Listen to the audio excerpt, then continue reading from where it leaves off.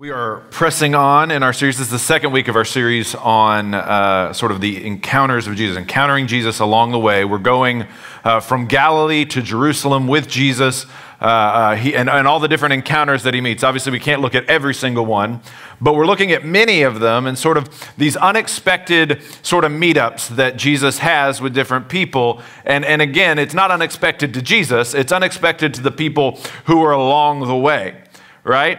And, and today we're, we're looking at the prodigal son. We're in Luke chapter 15, uh, which is a, is, is a fantastic, well known story. You see it a lot uh, in both church and then in, in narrative throughout our society. It's just a popular story. But we love finding unexpected surprises, right? How many of you have ever in your life put your hands in your pocket in a coat and been like, oh, here's money, $20. Yay, found money. That's unexpected. How many of you have planted that money the year before and been like, oh, there it is, there's the money. It's, it's, I just needed a little pick me up, right? Or like you come into your office one day and, and somebody has provided something for you, a little unexpected treat. Maybe somebody sprung for Crumbl cookies and they're like, hey, there's a little surprise, a little treat, a little thing to, to help everybody uh, just kind of enjoy the day. We like unexpected surprises, unexpected treasures, unexpected gifts. We love things like that that kind of help us keep going. We'll even treat ourselves in the middle of the day, right? We'll be like, oh, I need a little something to get me going. I'm going to work till lunch and then I'm going to take myself someplace nice like Chick fil A and I'm going to enjoy that. That's nice for me. I don't know if it's nice for you. So, yeah, it's, it's one of those things that we really love in our life. But right now, you may be in a position in your life where you could really use something unexpected. Because the things that you're expecting to happen maybe aren't what you had hoped. Maybe you're, you're worn out, you're tired. Maybe you feel guilty and you feel ashamed about something. Maybe you just feel overwhelmed by the burdens of living the life that you have and you really could use something from somewhere, out of nowhere, just something that's unexpected to come and fill your life and maybe make things a little easier or make things feel like it's worth it again. And so, like I said, we're looking in Luke chapter 15 at the prodigal son story. And what I want us to do is, I want us to see how grace is this unexpected thing that we need. It's this unexpected thing that we need and what it means for us. And so I want us to look at three things in Luke chapter 15 that grace means for us. And the first thing is this the existence of grace means that something is broken. Grace means that something is broken. Look at verse 11 of chapter 15. And he said, This is Jesus speaking, there was a man who had two sons. And the younger of them said to his father, Father, give me the share of property that is coming to me. And he divided his property between them. And not many days later, the younger son gathered all he had and took a journey into a far country, and there he squandered his property in reckless living. And when he had spent everything, a severe famine arose in that country, and he began to be in need. So he went and hired himself out to one of the citizens of that country, who sent him into his fields to feed pigs and he was longing to be fed with the pods that the pigs ate, and no one gave him anything. But when he came to himself, he said, How many of my father's hired servants have more than enough bread, but I perish here with hunger? I will arise and go to my father, and I will say to him, Father, I have sinned against heaven, and before you I am no longer worthy to be called your son. Treat me as one of your hired servants. And he arose and came to his father. So, this is the third. This prodigal son story is probably better called the lost son because it's the third in a trilogy of stories that Jesus is telling to the, the Pharisees. The Pharisees have made a comment about how he's hanging out with tax collectors and sinners. And so, Jesus tells a triad of stories. The first one is the lost sheep, the second one is the lost coin, and then the last one is the lost son. And they follow a formula. And each one follows the same formula for the most part. There is something that the person has that they lose. And then there is something uh, that, that, they, they go and they, they kind of abandon everything that they have and they go and pursue that thing that they lost. They find the thing, and then there's a big celebration. And that's the formula for the story. And he tells sheep, coin, lost son. And what should stand out to you, especially in this story, the, the lost son story, is all the brokenness that riddles this story. First, you have the disrespect that the son expresses to the father. He says, I have, have uh, I want the things that are coming to me. That's all he wants. I want my inheritance, which in that day and age, in that time, was to wish your father to be dead. And in the Jewish culture, that's an unforgivable sin. That is a breach in the relationship. It is a, it is a high crime. And then he leaves. He takes everything and he goes away. He doesn't just want what his father has. He didn't want anything to do, not just with his father, he didn't want anything to do with his family. He goes to a far country, as far away as he can get. And then there's just abject wastefulness. He pours his life into things that don't really matter. He expends the wealth, the life of his father, on things that don't matter. It's wasteful. He spends it down and down and down, and then disaster strikes. There's a famine in the land. The guy might have been okay. He might have had a plan for managing his money to some extent, but he was just living there on the margins. As long as nothing went wrong, he was going to be okay. And then a famine hits, he doesn't have anything to eat. And so it seems like even the brokenness of the world conspires against him. And then he hires himself out to somebody in that country. Now, the hiring himself out isn't what we think. It's not like he goes down to the grocery store or the fast food restaurant and gets a job. That's not what's going on. He essentially subsumes his identity under the identity of this person. And we know this person is a Gentile. How do we know he's a Gentile? He's got pigs. And so we know he's in this far country. He's working for this Gentile. And again, this Gentile man is his whole identity now. He's divorced himself from being Jewish, from the promised land, because he left the land. We're assuming his father was living in the promised land. He's now gone to a far country. He's away from his father. He's away from uh, uh, his identity, and he's working with pigs. Essentially, he's in exile. He is in exile. He is exiled himself. And it doesn't get much more broken than that for a Jewish audience. Essentially, what has happened to this young son is he is living under a curse. He's cursed.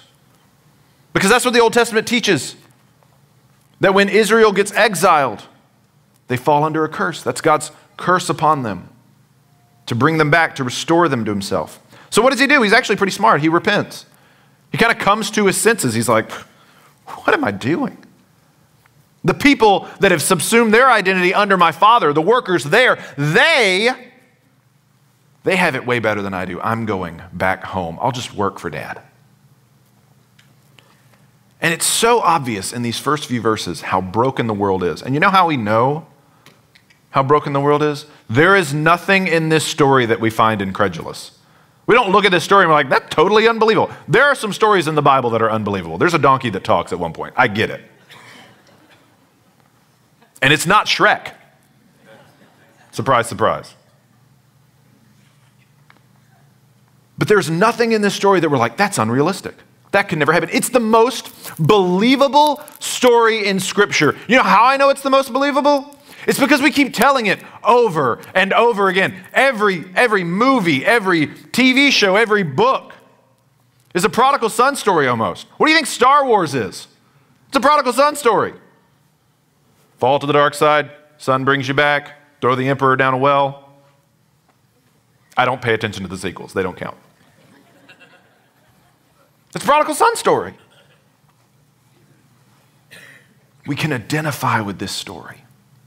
We look at it, we see the broken relationships. We see the foolish behavior of a young man. We see the arrogance. We see people taking advantage of this man. They won't help him. Nobody will give him anything. We look at the world, the famine, and being like, golly, yes, I know what it's like to live in, in a society that all of a sudden the environment around you conspires to just throw everything upside down. What do you think COVID was? All of this doesn't just create the conflict in the story, it shows us the necessity of grace.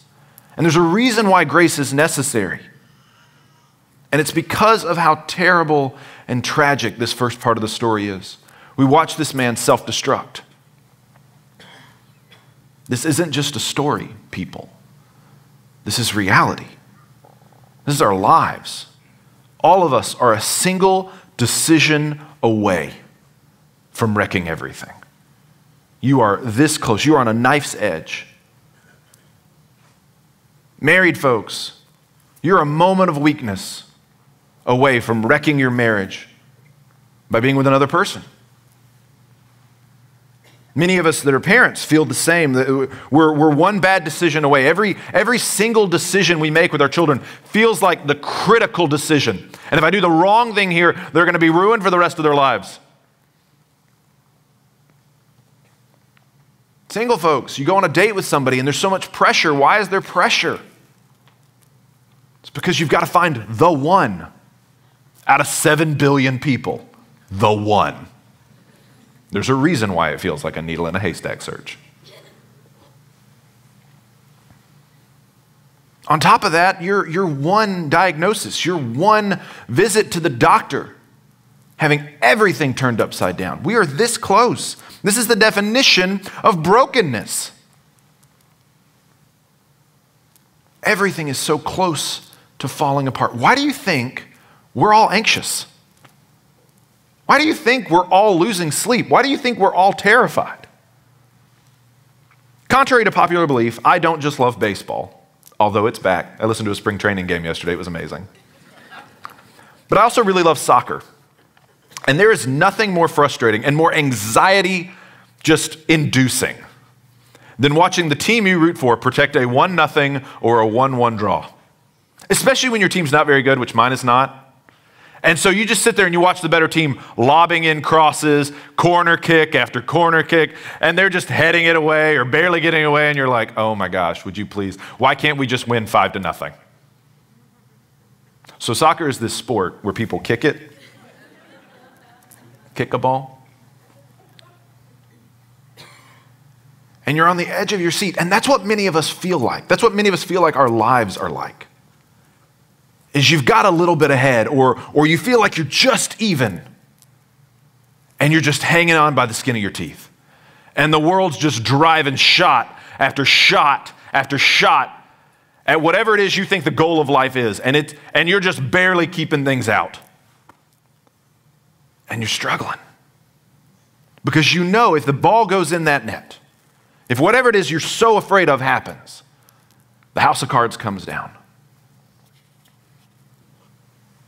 And the really frustrating thing is that there's no way to ensure that this does not happen to you. You can have all the education in the world, you can have all the money in the world, you can have all the success in the world. And there is nothing that can keep everything out of your life. It keeps every bad thing from happening to you. It can't do it. And so I think, I think we would all acknowledge that the world is broken. And if we all acknowledge that, then we have to think something has to fix this. And that's why grace is so important. The fact that there is something broken and the fact that we can't fix it in and of ourselves shows that there has to be the existence of something else that will fix it. Something outside of us, outside of the world, something extra has to come in and deliver us. And I, we believe as Christians, it's grace. It's grace in the person of Jesus Christ. That's what comes from outside to repair the brokenness. It's this unmerited favor of God. It's something you don't deserve. It's the $20 bill in your pocket that maybe you didn't put there. That's grace. It's unmerited favor. Which leads us to our next thought about grace today. If grace means that something's broken, that also means grace means that something can be restored. Look at verse 20, the tail end of verse 20. It says, He arose and he came to his father, but while he was still a long way off, his father saw him and felt compassion and ran and embraced him and kissed him. And the son said to him, Father, I have sinned against heaven and before you. I am no longer worthy to be called your son. But the father said to his servants, Bring quickly the best robe and put it on him, and put a ring on his hand and shoes on his feet, and bring the fattened calf and kill it, and let us eat and celebrate. For this my son was dead and is alive again. He was lost and is found. And they began to celebrate. Son makes the journey home. And his father sees him from a long way off. The word long way off and far country are the same word. So when it says he goes into a far country, and so it's almost like the father sees him in the far country and runs to him. This homecoming is more than the young man could have hoped for. First, the father feels compassion. He didn't just go to his son because it'll look good on, on social media. He didn't just go to his son because, well, I'm his dad, I'm supposed to. I told him I'd always love him, but I really don't like him, so I'm just going to. No, no, no, no, no. He feels compassion. His heart breaks seeing his barefoot, destitute son come home. And so he runs to him. He runs to him, which is something that elderly people didn't do then. Elders in society didn't run, it, it, it was a, a, an undignified thing, which have you ever seen like an 85 year old do a marathon? I find that to be just incredibly like challenging to myself. I'm like, what am I doing with my life? They can run a marathon. I need to gear back on the things I'm eating. But the father runs to him. And then it says that he falls on his son. And the word falls upon means exactly what it means here. Like he like falls on his son and kisses him, just kind of engulfs him. But it can also mean like when bad circumstances happen to somebody. They fell upon hard times, right? And that's something we see in the son's life. Bad circumstances fell upon him. Yes, he made bad decisions, but he also had bad things happen to him as well. And the father comes and falls upon him, and he kisses him. And I love it. The son starts his speech. He's like, Dad, I've sinned before heaven and before you, and on and on. And he gets like through one sentence. And the father cuts him off. And the reason the father cuts him off, he starts talking to his servants. He says, Hey, in fact, if you notice, nobody actually talks to the son in this entire story. Nobody talks to the younger son at all. And he says, Go get a ring for him, a robe for him, and put sandals on his feet. And of all these, the sandals is the most important. The sandals, if you were barefoot in that day and age, it, it meant uh, you were just absolutely degraded, low, poverty stricken, and to get new shoes was to get a new life, to be restored completely. The young man comes home and he doesn't expect to be restored. But that's what grace is. Grace is the hope, is the message, is the means by which we can be restored. The depth of the brokenness the son has gotten into is immense. There's no way he digs himself out of this. I mean, he goes home, and, and I don't know what his line of thinking is other than I'm going to work for my father. But maybe he thinks I can work for my father and I can, I can get better, right? Like I can, I can improve, I can rehabilitate my image before my father, and maybe, maybe I'll be able to pay him back some. Or maybe I'll be able to, to just enjoy uh, being around people that I know are good people. Or maybe I can show him how sorry I am by the effort that I put in. And when the father interrupts him, the father cuts that line of thinking off at its knees. And there's a reason why he does this. It's because the son doesn't have an eye towards restoration. He has an eye towards a diminished role and a diminished place in the father's economy. The father has only interest in restoration. He has zero interest in having his son back under any other condition besides full restoration. That's the only condition he will accept his son back. And oftentimes we think the same thing when we approach the Lord. We come to the Lord after, uh, in the midst of trial, in the midst of difficulty, in a place where we need God's grace. And we start hoping for some kind of bargain, some kind of working contract relationship, because we all know we've fallen short. We all know we've messed up. Even if just for an afternoon, or an evening or a weekend or a week or a few months. You said, God, I know you want me to do things this way, but I'm really angry at this person and I'm going to do things my way. Or God, I really like the really attractive person and I'm going to go do things my way for a while and I'll come back. Or God, I know that you have really generous ideas of what business practices are. I'm going to make my fortune however I need to make my fortune and then I'll start giving and I'll use my money that I get however I get it for the glory of God.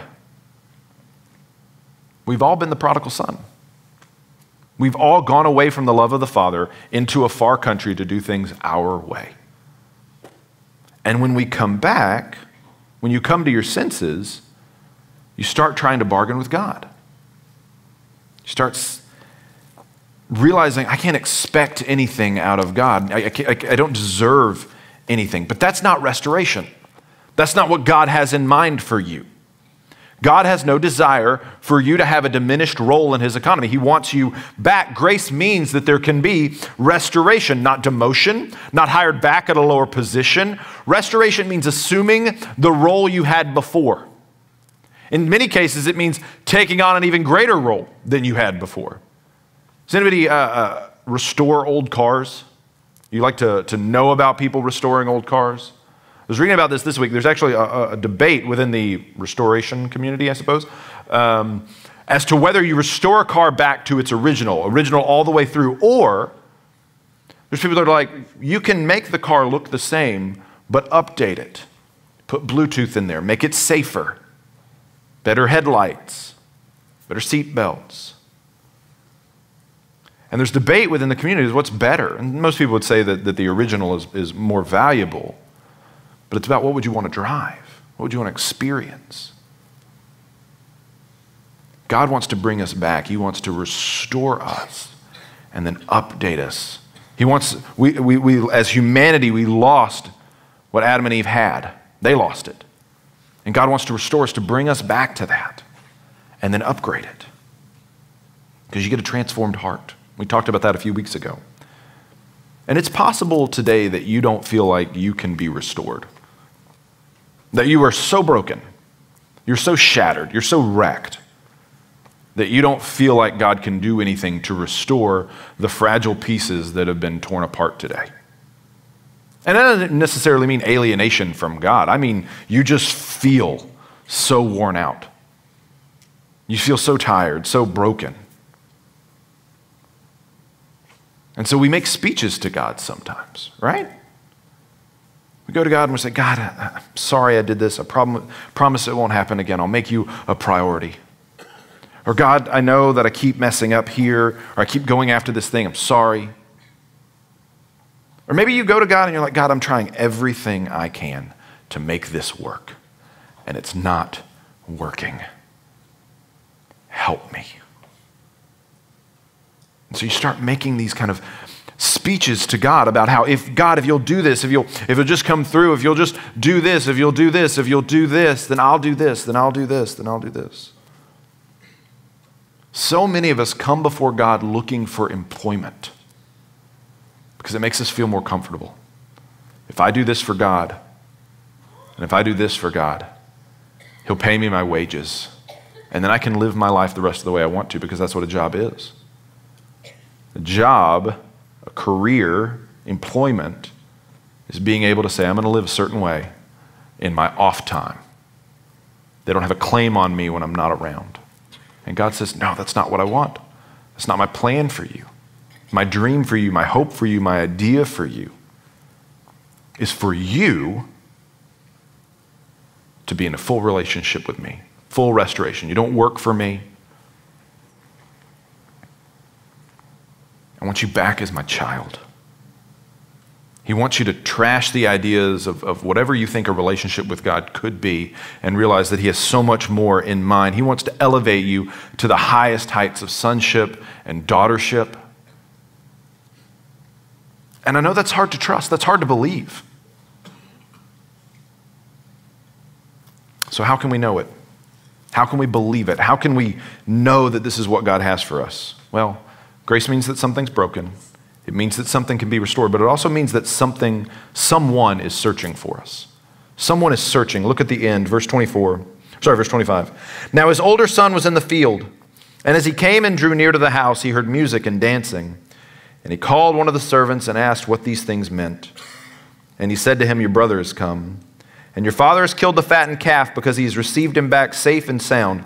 But he was angry and refused to go in. And his father came out and entreated him. But he answered his father, Look, these many years I have served you, and I never disobeyed your command. Yet you never gave me a young goat that I might celebrate with my friends. But when this son of yours came, who has devoured your property with prostitutes, you killed the fattened calf for him. And the father said to him, Son, you are always with me, and all that is mine is yours. It was fitting to celebrate and be glad, for this your brother was dead and is alive. He was lost and is found. Final character that we really haven't talked about that kind of gets sidelined throughout the story is the older brother. The older brother. And if you remember, there's a formula to the story, right? In each of the, the, the, three stories, there's supposed to be a formula. Something gets lost, somebody fi- goes and finds it, they find it, and then there's a celebration. And the prodigal son has all of those elements except for one. And Tim Keller points this out. He says that the older son should have been the one to go and look. He should have been the one to go bring his younger brother back, and he's not. And we find out the reason why he doesn't do that is because he is just as alienated from the father as the younger brother is. Just as alienated. He just hasn't had to go as far away to, to show it. But he is. He is. Notice who he asks what's going on. He asks the servant what's going on. One, he doesn't even know why there's a party being thrown, which shows he's so far from the house. He doesn't even know what's going on. But secondly, he doesn't go in and ask the father, Dad, what's going on? He asks a servant, and this tells you how the son views himself. Because the younger son, his highest hope when he comes back is to simply ingratiate himself to his father and say, maybe I could be a servant. Maybe that's, that's the best I could hope for. But the older brother views himself as nothing more than a servant. He views himself as just a hired worker. And all this time, it's built up resentment towards his father. And he finally explodes at his father at the very end of the story. He says, You've given, never given me anything to celebrate with my friends. Notice who's not invited to the party the father. He says, You've never given me anything. And then he accuses his younger brother. He says, This son of yours has consumed your property. That word for property is bios. It's where we get biology from. It means life. What he's saying is, Your son has consumed your life. He's a bloodsucker, he's a vampire, he's a leech. And you just celebrate him like it's no big deal. He's drained everything and you throw a party for him.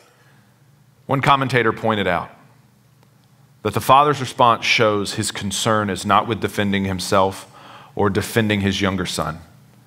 His greatest concern is the spiritual condition of his older son. Because you see, his son is infected with a spiritual disease called acedia. It's acedia. It's A C E D I A, acedia. Acedia is this thing where when something good spiritually happens to somebody else, you experience disappointment, bitterness, frustration. And it's the case that the older brother has. He is riddled with acedia. Something good has happened. A son has returned alive that they thought was lost, and he has nothing but resentment for it. And you know what? That's the end of the story. Have a great week. We have no idea what happens to either one. We don't know if the, the younger son wakes up the next morning and thinks, man, can't believe it. I'm just going to go back to doing what I wanted to do. We don't know if the older brother actually says, you know what, dad, you're right. I'm so sorry. I'm going to come into the party, kisses his brother on the cheek, and says, I'm so glad to have you home. We missed you. We don't know what happens. And you know why we don't know what happens? It's because it's not the point of the story. Because remember who the audience is that Jesus is talking to. 15, verse 1. Now the tax collectors and the sinners were all drawing near to hear him. And the Pharisees and the scribes grumbled, saying, This man receives sinners and eats with them. Jesus is comparing the religious leaders to the older brother. And obviously, the tax collectors and the sinners are the younger brothers. See, the Pharisees, the religious leaders, have been working in the field. They've been working to maintain the law. They've been working to maintain the temple. They've been working to keep God being honored in Israel. But you know what? They're far from the heart of God. They're far from the heart of the Father. And at this point, you have to ask yourself, and this is the point of parables, is where am I in the story? Who am I in this story? Where am I? Are you the son that has traveled so far away? And now needs to draw close to the Lord? Are you the calcified religious person who hasn't strayed physically far from the church? You're here every single Sunday. You're even here sometimes on Wednesday. You're even serving, and you are far, far, far from the heart of God. Where are you? Where can we find you? You want to know how you find yourself? It's what you celebrate. Both brothers are exposed. Their spiritual condition is exposed by what they celebrate. The young son goes out and he celebrates wild living. His spiritual, his character shallowness is exposed by the kind of parties he goes to. And the older brother, his spiritual shallowness is exposed by the kind of party he refuses to go to. So, what do you celebrate? What do you refuse to celebrate? What do you have a hard time celebrating? What breaks your heart? What makes you feel cold? What do you resent? The parties you throw, even the little parties you have in your heart. When you're like, I'm going to treat myself, this was a good day. Well, what made it a good day? When you're coming home from work and you're angry, what is it that made it a bad day? What makes it so hard to celebrate for you? That tells you where your heart is. That tells you where your idols are. That tells you what you value. It tells you everything about what you need to know about where your heart is. Because Jesus says, what? Where your treasure is, that's where your heart will be also. Your parties expose you. But don't fear, there's grace.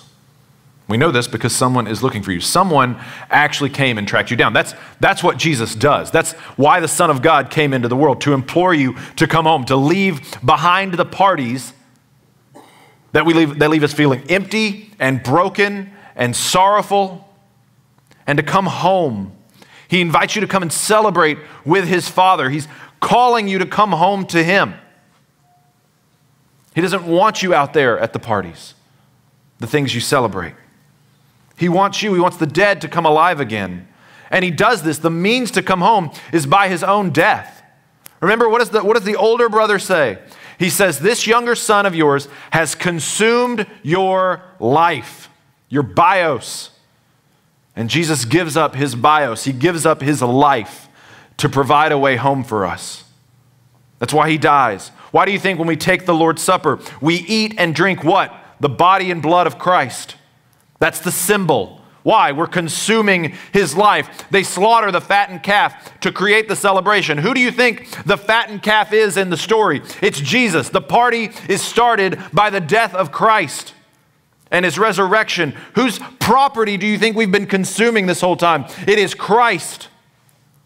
Again and again and again. And he invites you to come and see, to taste and see that the Lord is good. Do you understand the lengths that the Father has gone to to bring you home. He sent His greatest treasure. We get so excited about finding unexpected treasure. We get so excited about finding that precious little $20 in our pocket. But what if rather than you putting that in there, what if somebody in your family every single year put 20s in everybody's pocket? This is what God does God comes into your life and He starts filling your pockets with His grace that we don't expect, that we don't anticipate, that we don't earn. And you, if you would just shove your hands in your pockets, which can't believe I'm telling you as a church in a worship service to put your hands in your pockets. Usually we're like, take your hands out of your pockets. But if you put your hands in your pockets, you will see that they're overflowing with God's grace. But so many of us are so eager, grabbing everything else, reaching out for every other means to, to try and give our life gratification, to give our life hope, to give our life purpose, to fix the broken things in our life. And God says, I will, I've filled your pockets with everything you need. Usually there's lots of different ways to respond. I think today there's only two. You can choose to come home or not. You can stay out, stay at the party, whatever it is you celebrate in your life, you can stick with it, or you can abandon it and come home to the Lord. That's really the only two choices you have today. And it's up to you. God wants to bring you home. And some of you might be like, well, I'm not that far from the Lord. Maybe. Maybe you're just not that far from the building, the church building. Maybe you need to recognize that your heart is farther away from God and some people that you would think are completely lost. You need to trust in the death, the burial, and the resurrection of Jesus Christ. Because we do have a tendency to let our heart grow cold. Do you have acedia?